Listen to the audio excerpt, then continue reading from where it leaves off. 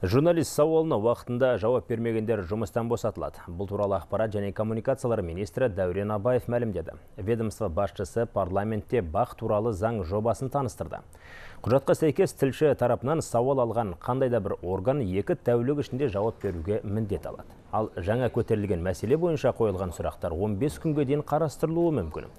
Дәурен Абаевтың айтуынша мұндай шешім бақ өкілдерін сапалы әрі толыққанды ақпаратпен қамтуға мүмкіндік береді. Айта кетейік, алдағы уақытта әрбір органда бақ өкілдерімен тығыз жұмыс жүргізетін қызметкер болады.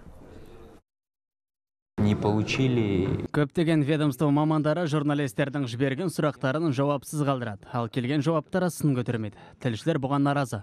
Бұдан былай мұндай тұлғаларға заңды шешім қабылданып тіпті жұмысынан босату туралы шараларды қарастыруға тура келеді.